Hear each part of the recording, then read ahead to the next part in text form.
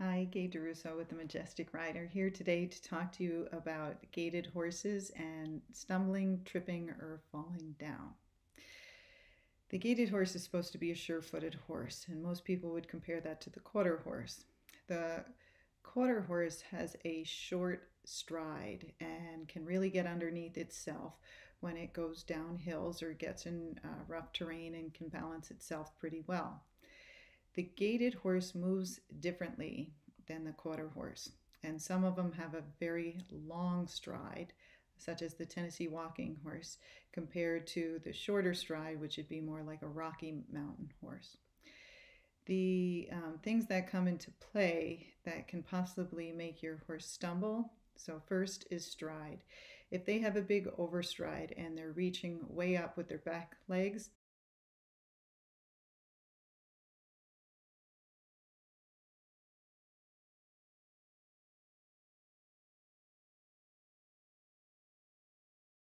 Sometimes they'll step on their front feet, and that will cause them to stumble. Some of the horses do not have the best conformation, and they um, cross their legs over each other when they're walking, um, or they interfere uh, with the front legs, and that can also cause them to stumble. So, one is to look at your horse's conformation and watch how your horse is walking when you're looking at how he walks without anybody on him, uh, you can videotape it too if it helps, if you can't figure it out. But you want to make sure your horse is landing on his heel first and then on his toe. If he's landing toe first and then heel, there's usually a soundness problem going on with his feet or with his lower legs. And to help him with the stumbling or tripping, you'd want to work this up and figure that out. The overall uh, conformation of the horse comes into play too. So, besides their um, interfering, if their legs are crooked, they can be hitting each other. Um, if they have a very long back, that can also make it hard for them to get underneath themselves, as well as a big overstride to actually support themselves and keep themselves off of their off their front end. When shoeing your horse, if the uh, farrier is not listening with you or has the wrong angles on the horse, that can also make them prone to tripping. So you always want to check your horse's feet.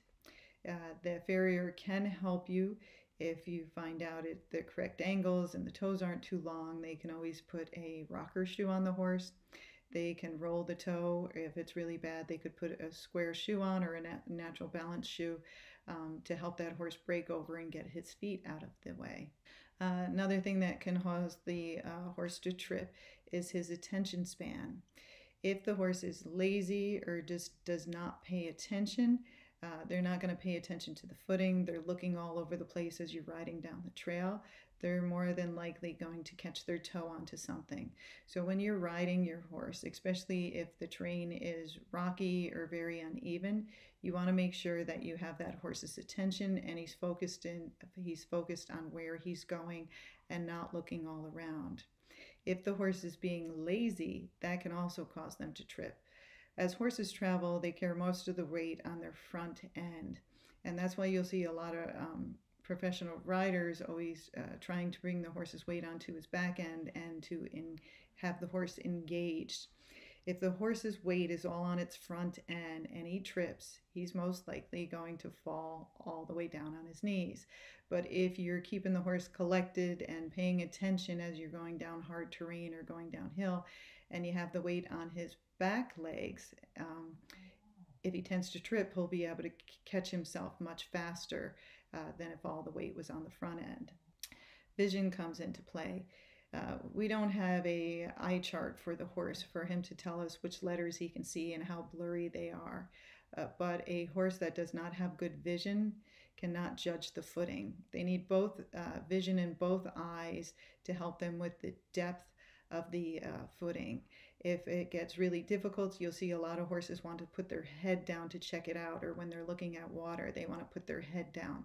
That's because they can see better when their head gets closer to it. Um, so if the horse has bad vision, that can also cause a problem. Your tack, if your tack does not fit that horse correctly, especially your saddle, and it's pinching the horse's back or causing it pain, that can also cause it to trip. So you want to make sure you have a saddle fitter check your horse and make sure that it's carrying you um, correctly with your weight and it's fitting the horse correctly. If your horse is fatigued and tired, he is going to be more likely to trip. It's just like if you went hiking and on the way back you were very tired, you're not going to pick your feet up as high to get over the rocks, and it's much easier to stumble when you're tired. And when you're tired, you also do not catch yourself as fast. So if you're uh, riding that horse at gait too much and he's not recovering and getting his energy back, that could also make him trippier. Lazy horses tend to trip a lot more than hot horses. The lazy horse is not making an effort to pick up his feet, and a lot of times he's not paying attention, he's just out to lunch. This also happens a lot when you're riding in a group. The horse that's up front uh, leading the pack usually is not trippy because he's paying attention to where he's going and he's alert and um, awake and, and uh, looking out for things to come. The horses that are following head to tail a lot of times will get up on that horse in front of them and start not paying attention. They're just kind of staring at that horse's tail and following them down the trail. The thing that also happens, they get so close they can't see the footing. And so if that horse up in the front steps over a rock and you're right on top of that horse, um, when the rock gets up to your horse, he a lot of times won't see it and will catch his foot and actually trip on that rock. So make sure if you're riding in groups, you're keeping your horses a couple lengths apart. Uh, that you're keeping your horses awake, give them little jobs to do, stop, back up, maybe do a little turn or a leg yield, and make sure they are staying awake.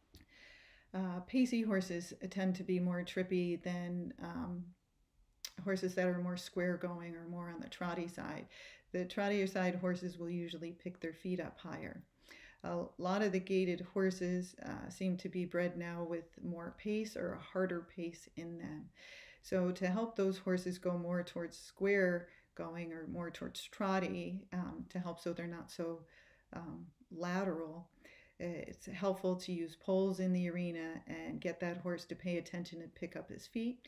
And it'll also help to square up his gait, which will make it more comfortable. You think when a horse paces, as you watch them, the same sides of their body kind of move together like this, like right, you know, front leg and right hind leg and the left front leg and the left hind leg. So as it trips, if it trips on the right and it's got to swing both the other legs, together to catch himself, it's much harder than a horse that's more on the trotty side or more on the uh, diagonal side. So, teaching a pacey horse to trot or correcting its gait uh, usually will help a lot on the tripping. Uh, the rider can make a big difference. If you're too big for your horse, that can make him more trippy. It's harder for him to carry him. If you're not balanced in the saddle, if you're either leaning to the left or right, or your stirrups are uneven, if you keep falling forward on the horse, that can make them trip. If you're um, too large for the horse and he trips and your weight goes forward, a lot of times you will just knock that horse over and he will fall onto his knees. Or if you kind of lean to the side, he might fall onto his side. They will usually try not to hurt you. Thank God they do that. Um, the good ones will try not to roll on you or anything. But again, if you're too big and you're unbalanced and not keeping that horse collected and paying attention, they will tend to trip more. You'll see um, a big rider on a small horse is a lot more trippy than a big horse with a small rider. So make sure you get a horse that fits your size or lose some weight or make sure that you are riding very balanced. Uh, keep the horses collected, keep them paying attention.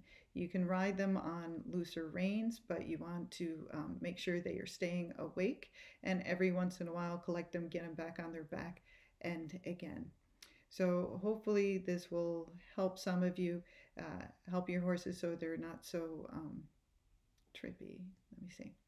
Um, other reasons your horse can um, trip are things that are out of our control. So it um, if you have tried many things and the horse is not improving, of course, talk to your vet. Some x rays uh, would be very helpful to see if the horse has arthritis in its front feet, if it has navicular.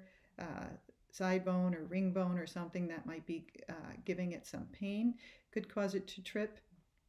If the horse has been nerved in the past, uh, that can cause it to trip because it can't feel its feet. Um, and you might have to check with a vet to have them evaluate if you don't know the horse and you got it from somebody else. Um, if the horse has arthritis and its hocks or its hocks are uh, bones are fused, that could cause it pain, and that could cause also another reason it could trip. So you might need X-rays of it of its hocks as well. Check the footing in the arena. Uh, there's many arenas that are uneven. People don't keep them up. You're supposed to maintain your arenas every year. They usually need uh, leveling and they usually need uh, some fresh footing because the footing breaks down. A lot of barns can't afford to do this, so a lot of barns will have uneven footing. Our uh, gaited horses, a lot of them will then tend to uh, drag their feet over the ground. So what happens with uneven footing is they catch their foot and they will stumble and that can cause them to fall down. That's not actually their fault. It's kind of like you tripping, you know, you're going down the sidewalk and part of the sidewalk is sticking up and you don't see it and you catch your foot over it and you go flying forward except you don't have anybody on your back that then falls forward and knocks you over.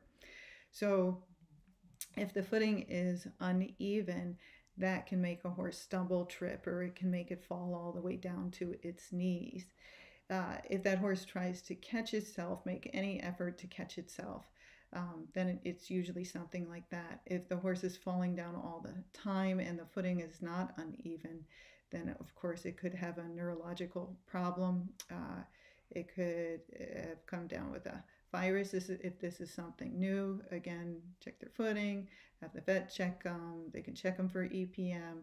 Um, but uh, you know, do a full evaluation. It's, I always tell people write down when the horse is stumbling, when it falls, and what were you doing, what happened. Um, sometimes people curse themselves. They say, My horse never trips. And what do you know? The next day they trip. So if you say that, knock on wood. I might be superstitious, but I've seen it happen a lot where people have a nice shorted, uh, gaited horse and uh, the horse then trips and falls the next day. They say something like that. Footing. The other thing that happens with the footing is if the footing is very deep, uh, you know, there's lots of sand in the arena, gets kicked around. What happens is there's usually pockets where the horse's foot is going way down. And then if the footing got too deep because the sand is pushed around, they have to lift their foot up like six inches to get up over that footing.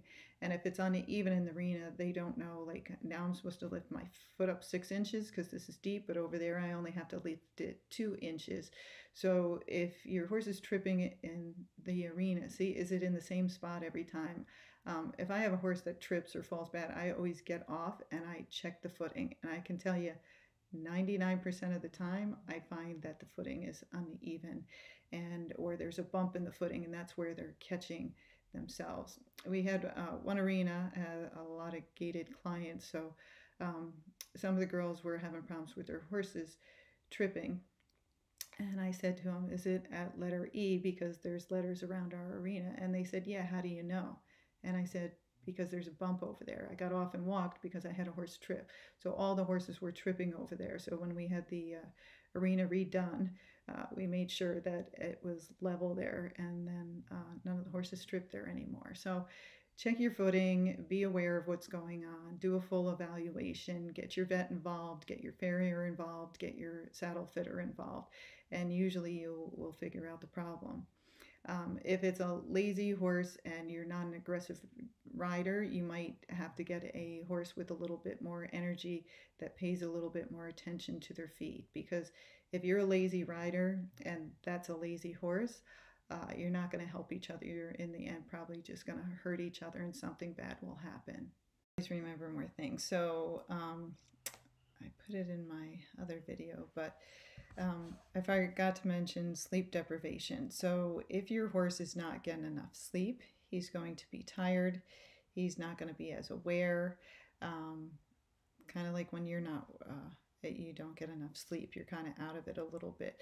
So if your horse has sleep deprivation, he's not resting well enough.